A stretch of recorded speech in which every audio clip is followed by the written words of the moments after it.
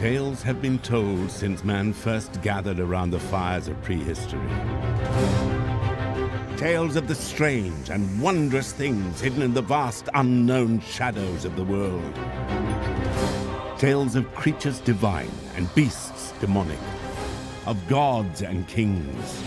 Of myths and monsters. From dark forests to the lands of ice. From desert wastes to the storm-thrashed seas, every corner of the earth has its legends to tell.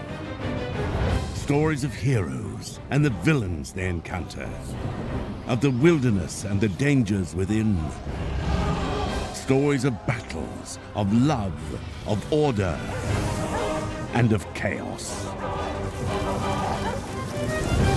But what are the roots of these fantastic tales? And why have they endured so long? In this series, we'll explore the history behind these legends and reveal the hidden influences that shaped them. War and disease, religious and social upheaval, the untamable ferocity of the natural world. And above all, the monsters lurking within ourselves.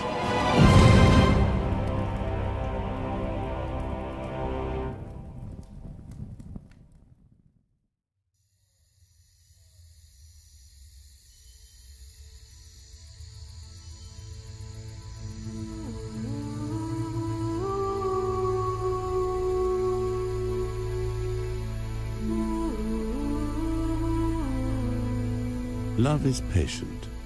Love is kind. Love never fails. It is our most prized emotion. We pursue it, we treasure it, and we mourn its loss. But there is a darker side to love. For with desire comes jealousy, and with devotion, betrayal. Unleashed, love can wreak violence, destruction, madness, and murder. It is in myth and legend that society wrestles with the twisting nature of love. How it can inspire us and devour us. How we try to explain it. And whether we can ever control it.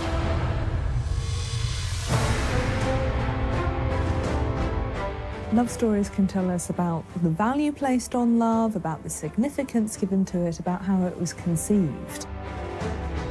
Well, love stories and myths are often about ways in which societies react, ways in which societies structure gender roles.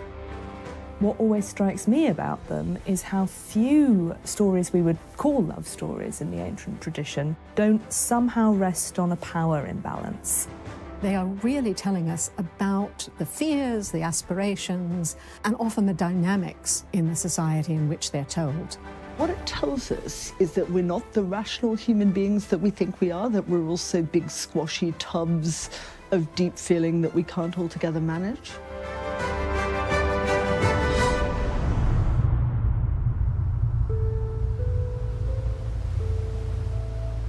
Stories of love and betrayal in all its forms have provided the inspiration for some of our greatest works of literature and art. And we still return to them time and again. They tell us love can be great, but that it can also be dangerous.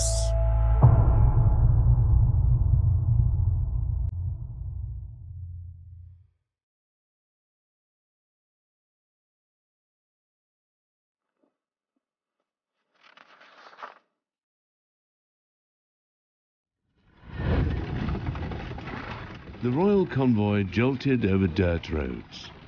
The journey had been a long one. Not a breeze disturbed the furnace heat of the day. Princess Iphigenia peered out at the countryside. Her mother, Queen Clytemnestra, dozed beside her. They had not stopped since that breathless messenger had first come to the palace. It was an urgent message from her husband, King Agamemnon. Clytemnestra was to join him at the distant port of Aulis, and she was to bring with her their beloved daughter, the beautiful Iphigenia. The carriage rumbled on. It would be hours before they reached their destination. Iphigenia examined an errant lock of hair. This would not do. She called the convoy to a halt and summoned her handmaidens. They shaped her hair into intricate braids. Jewels of gold were set about them. She wanted to look her best, for Iphigenia was on her way to get married. In modern society, most marriages, to start with at least, are based on love. But that was not always the case. In centuries past, marriages, especially among the elite, were more often an alliance between families or nations. You did not marry for happiness. You married to fill a treasury, to avoid a war, or, as in the Norse tale of the Lay of Thrym, to reclaim something that was stolen.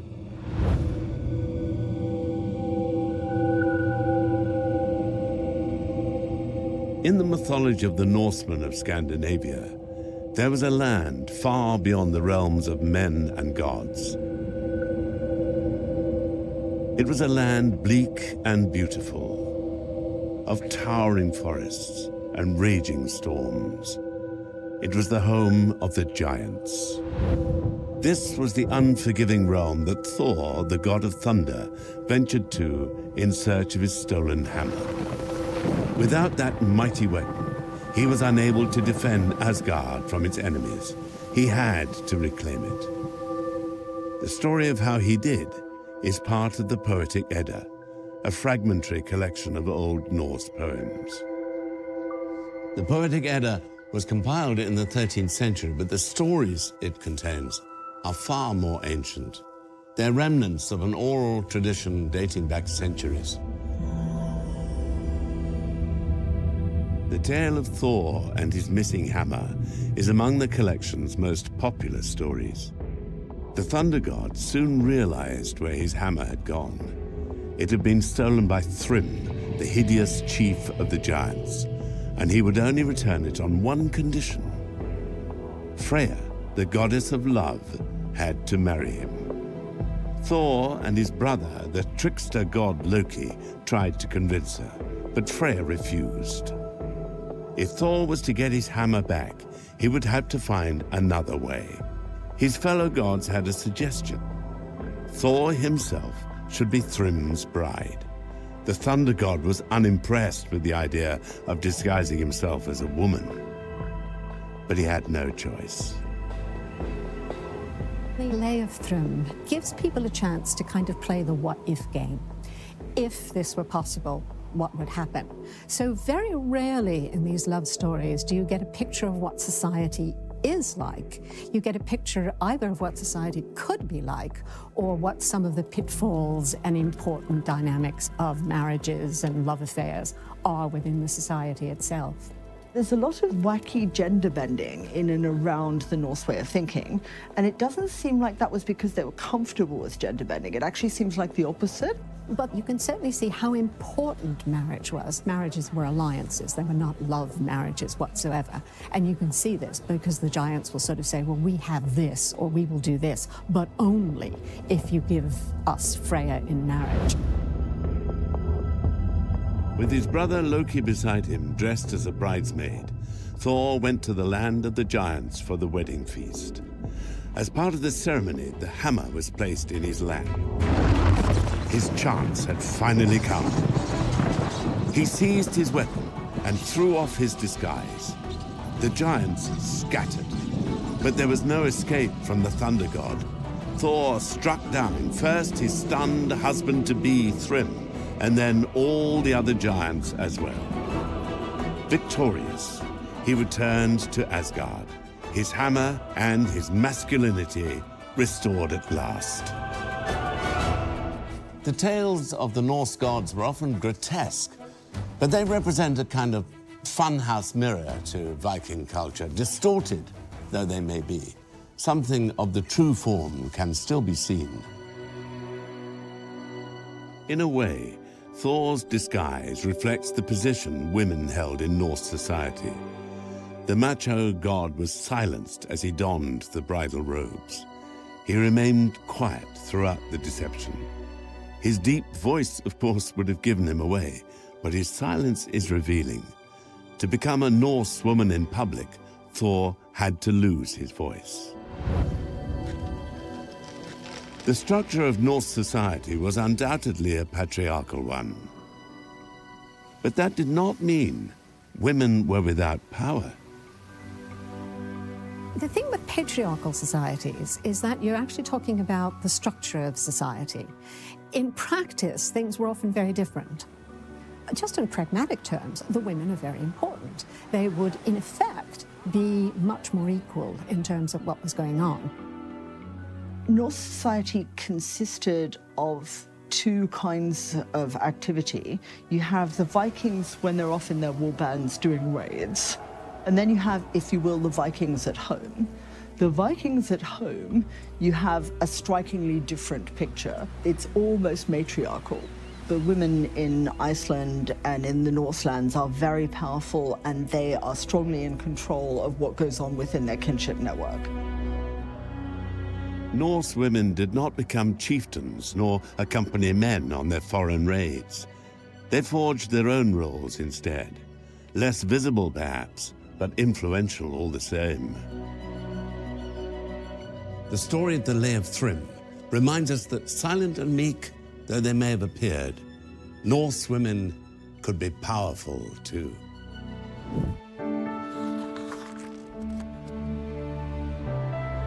The port of Aulis. Here King Agamemnon had gathered his vast army, and here they waited for there was no sign of the wind needed to carry them to war. In a tent perched high above the placid seas, Princess Iphigenia waited with her mother. She had never looked more beautiful. But then she had never met her future husband before. In the greatest army ever assembled, he was the greatest warrior, Achilles. This was the man Iphigenia had come so far to meet. This was the man her father had promised her.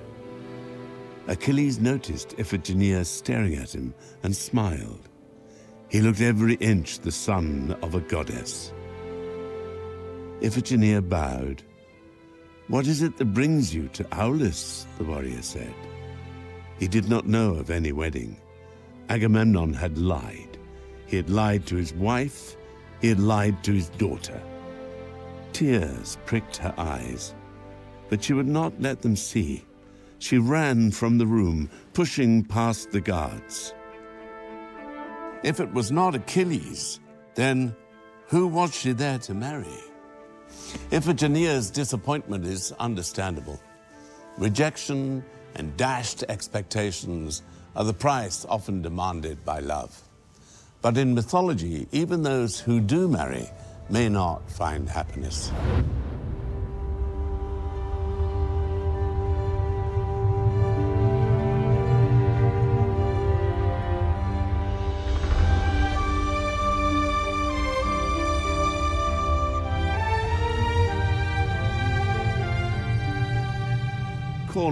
Southwest England an ancient coastline carved by the long ravages of sea and wind. This is a land of cove and beach, cliff and valley. A land with its own culture, its own language, and its own legends to tell. The story of Tristan and Isolde dates back to the 12th century. It tells of a love triangle between a handsome young knight, a beautiful Irish princess, and her husband, the King of Cornwall. The match between Isolde and King Mark was intended to bring peace between long warring kingdoms. Tristan was Mark's nephew and favorite knight. He was the one entrusted with bringing Isolde to Cornwall from Ireland.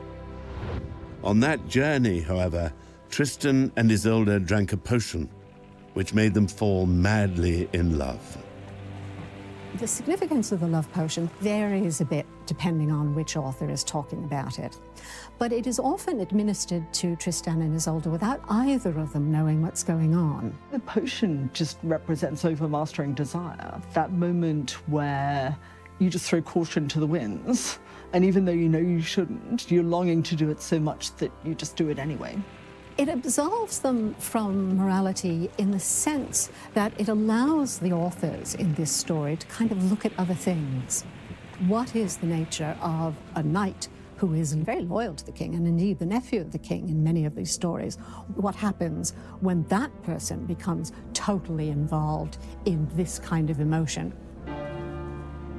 Isolde did go on to marry Tristan's uncle, King Mark. Peace between Ireland and Cornwall demanded it. But the potion had not worn off. The affair with Tristan continued. All three characters loved one another. Tristan desired Isolde but respected his uncle. The king loved Tristan as a son and Isolde as a wife. She was grateful for his kindness, but could not resist her lover. All three were plagued by terrible dreams of the future these would prove prophetic. For eventually, King Mark did discover the affair. He plotted to kill the treacherous young couple. Tristan and Isolde managed to escape death, fleeing into the wild. But they found no happiness there either. They were still consumed with guilt. Their story was inspired by earlier Celtic tales. It, in turn, would shape later romances.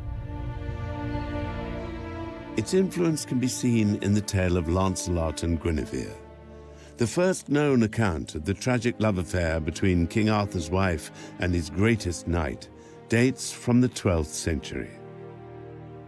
It was written by Chrétien de Troyes, a French court poet. Chrétien de Troyes is one of the most famous of the medieval um, romance writers. He pretty well invented Arthurian romance. The most famous story is Lancelot and Guinevere. Chrétien introduces Lancelot into the Arthurian legend. Lancelot is a latecomer, really, to the Round Table, and he comes from a much more courtly era than those earlier, sort of wilder, hairier knights. He's much more polished. He not only has great physical prowess, but also really knows his way around a banquet hall, is good with fashion, is physically beautiful, rather than just being big and burly and strong. That's what Chrétien brings into the story. By the time Chrétien was writing in the 12th century, the notion of courtly love was becoming very popular. And what this meant is that the warrior knight would be civilized through the love of a lady. The idea was that if you loved this unattainable woman, it would spur you on to do greater and greater deeds. The story was an appealing one for the women of the French court. In their everyday lives, the dynastic and political triumphed over the romantic. Arranged marriages were the norm. Husbands would disappear for years at a time on pilgrimage or crusade, while they were free to have mistresses. For women, the bonds of marriage were unbreakable. One of the key things to understand is that many of the most powerful patrons to which these writers of the 11th and 12th centuries are trying to appeal are women. If you're trying to appeal to these highly educated, very sophisticated French speaking women, you're obviously going to want to tell them stories about other very highly educated, very sophisticated women and their interesting love lives. At this period, you get another thing which is very interesting, which is the beginning of proper feminist literature. You have female writers sort of saying, look, women are not just Eve figures who introduced sex into the world. They're not just bargaining chips in marriage. They have a psychology of their own. They have morality. They have something to contribute. Aristocratic women, at least, were beginning to be able to articulate their place in society, their own psychology, their own identity. More was at stake in these stories than hurt feelings alone. Tristan and Isolde's affair endangered the truce between Cornwall and Ireland. Peace was only assured when the couple decided to separate. Isolde returned to King Mark, and Tristan left Cornwall forever. In these stories, the fate of nations rests on affairs of the heart. They remind us that behind great moments of history often lie human relationships and human failings. They explore how all of us must reconcile private passions with other responsibilities, and they ask, when our loyalties, our loves compete, which will triumph? And what will the consequences be?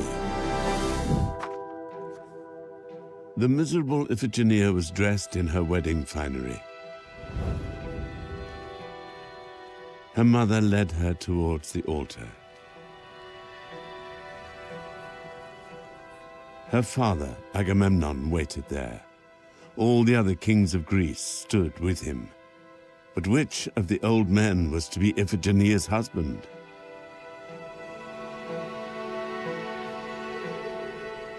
We are all of us but mortal, the king's voice trembled. We cannot defy the gods.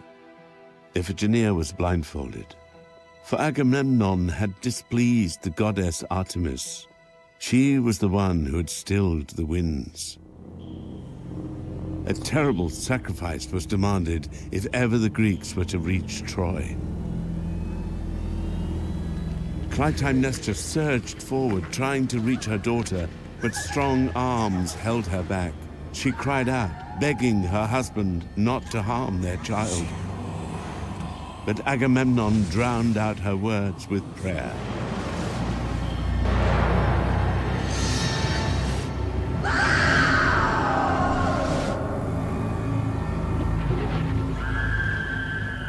Clytemnestra screamed as her daughter slumped to the ground. Then it began, quietly at first, but soon spreading from harbor end to harbor end, the ropes and rigging of a thousand ships, limp so long, bucked against their stays. The wind was blowing again. With the death of Iphigenia, Agamemnon's fleet was free to depart for Troy. The war there would last for 10 long years.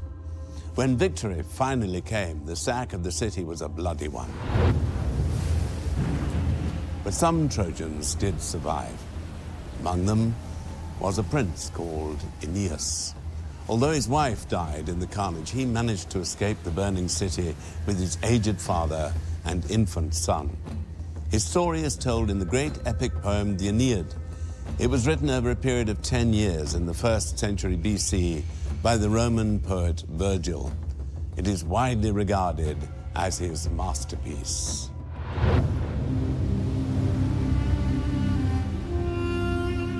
As Aeneas' fleet sailed across the Mediterranean, it was beset by a devastating storm. Aeneas and his men were forced onto the shores of Africa. Its plains were veiled with cork oak and olive trees. Its hills, charred by the sun, seemed to lope eagerly towards the shade of distant mountains. It was on this harsh and arid coast that the city of Carthage was to be found. Aeneas and his men might have expected a hostile welcome. Instead, the Carthaginians and their queen, Dido, took pity. For Carthage was a new settlement founded by refugees, just like the Trojans. In Aeneas, Dido saw a mirror of herself. She too had lost a spouse to violence. She too had been forced to flee her home. Dido is a very competent, very capable leader. Virgil says, Femina dux facti, woman was the leader of the action. She's very positively presented as a leader. Venus enchants Dido into falling in love with Aeneas to ensure that he gets a warm welcome and the supplies he needs. So it's kind of a mean trick. You know, poor Dido's just innocently extending sacred hospitality to a stranger, and Venus sort of creeps up behind her and fills her heart with passion. Dido offered the Trojans not simply a place to recover after a storm, but a home as well. Cloaked in her kindness, however, was an act of hostility. Aeneas faced many foes on his journey to Italy, But love was to prove the most dangerous. When Dido and Aeneas go off on a hunting party, the goddesses arrange a great big storm that is so bad that they have to take shelter, separated from the rest of the party in a cave. And they consummate their relationship to the sound of wolves howling, which is not really a very good omen. Dido represented a threat not just to the onward progression of the story, but to the future of the world itself. For Carthage offered a viable alternative for Aeneas. Merging their families and people, he could have ruled the prosperous city by Dido's side. He could have been happy there. If he chose to stay, however, his people would never reach Italy. They would never found Rome. The history of the world, the Aeneid tells us, hinged on this moment. What happens in the poem is that the god Mercury is sent to shake up Aeneas, to wake him up, remind him he's got a destiny he's meant to be fulfilling. So he comes down and he says to Aeneas, What are you doing? You're standing around on the walls of Carthage. You've got your own place to go and found. When Dido hears that he is going to leave, she confronts him and accuses him of planning to leave secretly. And he tells her that he's being torn by duty. He's not going of his own choice. This isn't his, his own free will. He's being forced to do this by the gods. Dido was heartbroken. Aeneas had abandoned her for a future even he struggled to believe in. She was overcome with anguish. As Aeneas sailed away, she built a pyre in the center of her palace, climbed on top, and plunged a sword through her heart. Sadly, I think that Aeneas leaving Dido is meant to be the key Roman moment in the entire epic. I think it's meant to imply the Roman male's ability to renounce sensuous pleasure and the appeal of everything that Carthage represents, which is kind of seductive, bad religion, naughty, immoral practices in favor of the straight, linear Roman legion ideal. It's also a triumph over sort of luxury and Orientalism and comfort. One of the things that Mercury criticizes Aeneas for is wearing sort of a rich purple robe that Dido has given him. I think it's meant to be a moment for drum beating and the sound of trumpets.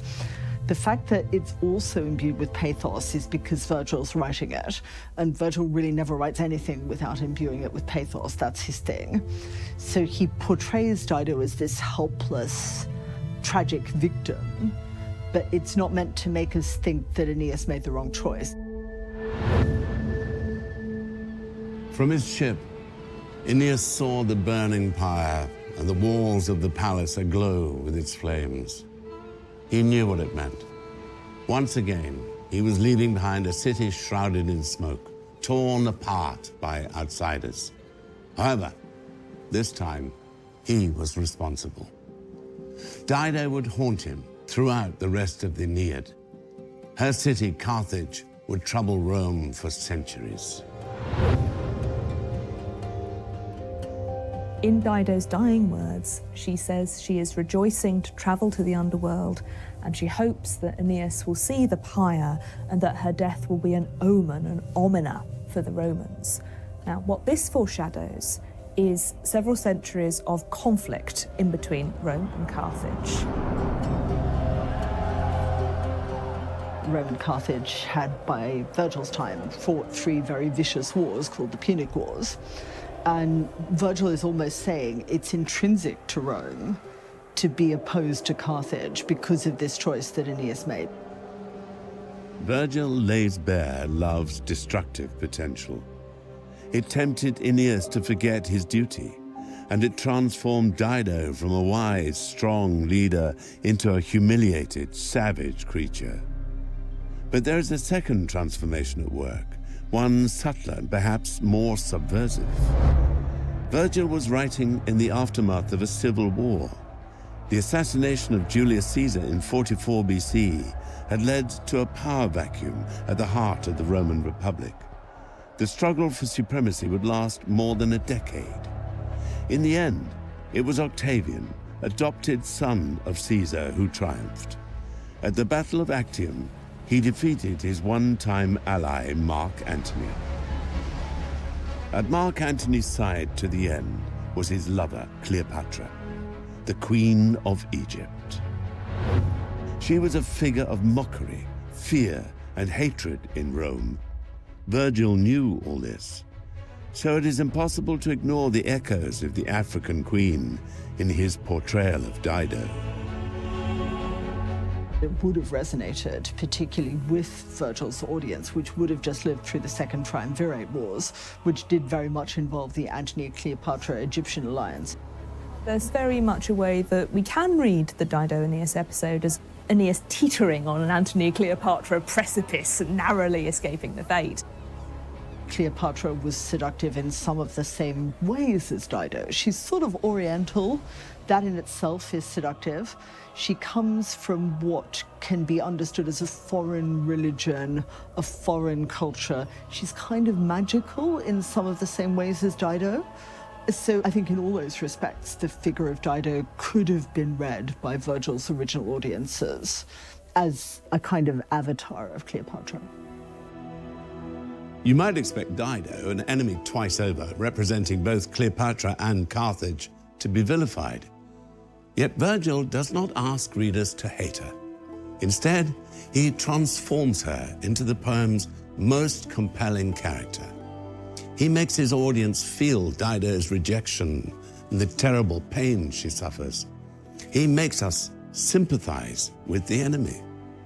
Love Virgil tells us, can be a dangerous thing. But if it is, then it is one shared across divides of politics and nationhood.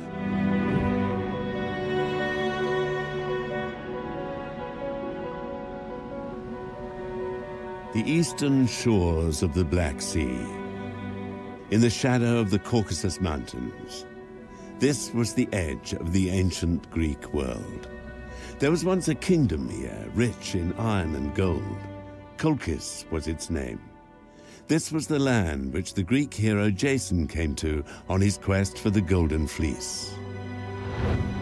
An exiled prince, Jason needed the fleece to prove his worth and reclaim the throne that had been taken from him. But the fleece belonged to another man, King Aeetes, and he guarded it jealously. If Jason wanted the fleece, the king told him he would have to complete several challenges.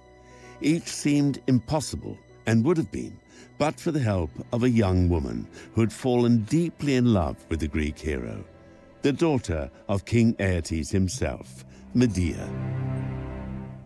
Medea is perhaps one of the most fascinating characters in the whole of classical mythology. She is generally regarded and described in the texts of all periods as a witch. That is, she's someone who has huge magical power. When we first meet Medea, she's very much a traditional lovesick maiden, brimming with unrequited love and very modest and very nervous. But even at this stage, we start to see sort of a much darker, much more powerful figure uh, starting to emerge. With Medea's help, Jason completed the king's challenges. First, he had to harness fire-breathing bulls, then use them to plow a field. He had to sow serpents' teeth in the earth and kill the soldiers who miraculously grew from them. Finally, he had to overcome a sleepless dragon guarding the fleece itself. Such was her love for Jason that when the Greek hero left Colchis in triumph, Medea went with him. She would go on to bear his sons and travel by his side throughout the Greek world. Having already stretched the mold of the helper maiden, Medea would challenge the constraints of her future roles as wife and mother, too. Any happiness Jason and Medea had would not last. When they reached Corinth, Jason abandoned Medea for the daughter of the king there. But it was what she did next that secured her name in history. She destroyed the things dearest to her husband, their children.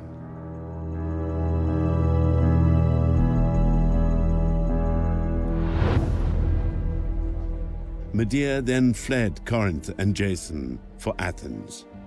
It was in that city that the story as we know it best today was written. Its author was the great playwright Euripides. Euripides was the first one really to create characters who had a psychological reality.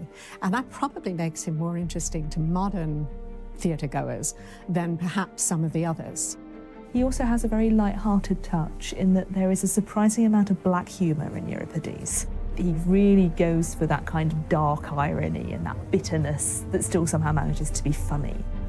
He's kind of free to create this wonderful, wonderful, not amoral character, but this character who's driven internally by her own idea of what ought to happen. Euripides forces the audience into uncomfortable questions. As Medea veers from behavior we deem good to behavior we deem evil, we ask what it takes to go from one to the other. What drives humans to inhuman acts? And what might we be capable of in the wrong circumstances? It's pretty terrifying because it's two passions opposing one another. The passion to get your own back at someone you loved and trusted who's betrayed you in the worst possible way, completely unfeelingly and unthinkingly, versus the maternal passion for your children, you know, the longing to look after them and shelter them and nurture them and make sure no harm comes to them. The Greeks were not necessarily keen on intense emotions. They felt that restraint was rather more important. So it would have seemed to them almost natural that this woman who was an outsider and a witch and obsessively in love should have fallen in on herself like this. So I think it's not a particularly positive attitude to the emotion of love. Euripides' play was first performed in 413 BC. Every year, Athens held a festival dedicated to the god Dionysus. New plays were performed and judged. It was at this festival that Euripides presented his version of the Medea story. He came last.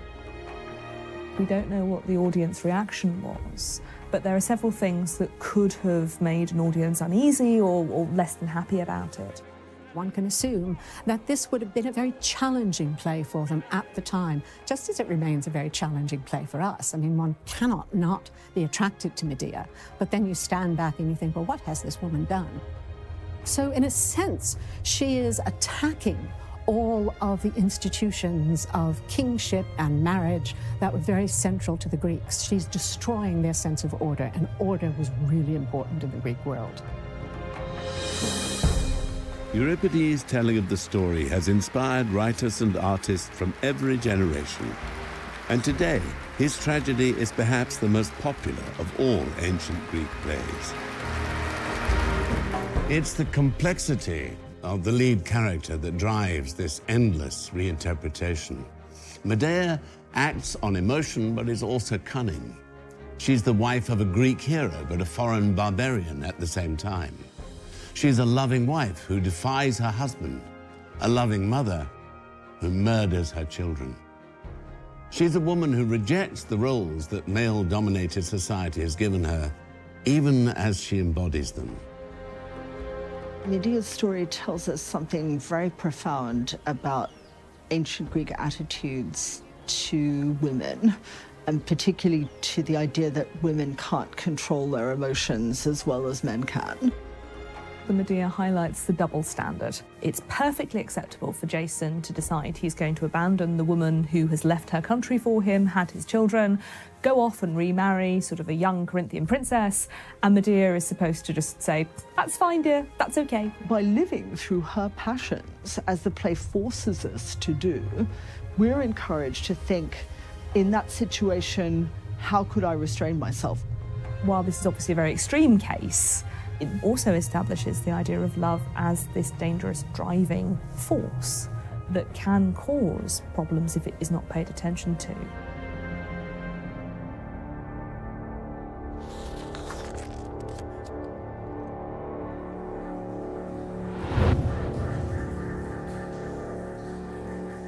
After 10 years of war, the triumphant Agamemnon returned home from Troy.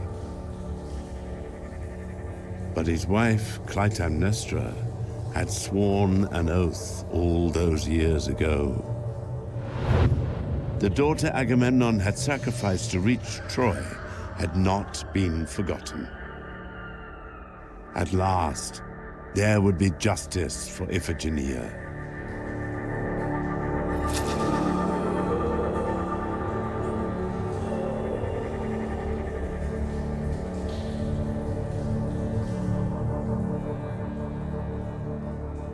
Love and violence seem bound together in Greek mythology.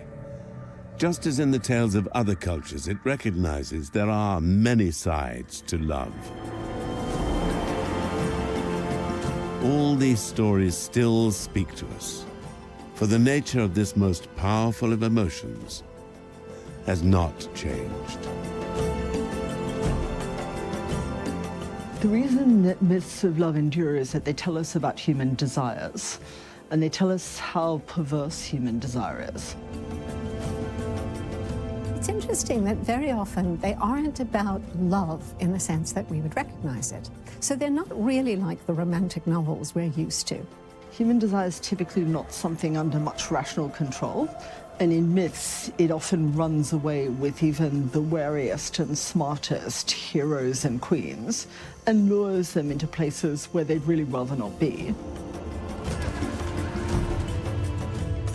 You have that question of where do you put love as this irrational, driving, powerful emotion within a structure of society, and what happens when it is scorned. All societies must find a way of channeling this emotion, for its power over the human spirit is unrivaled. If at times it does inspire acts of horrifying violence, it is far more often responsible for kindness, self-sacrifice, and bravery. We cannot, however, have one without the other.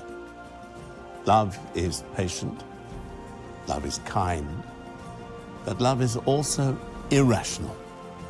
And love can be dangerous.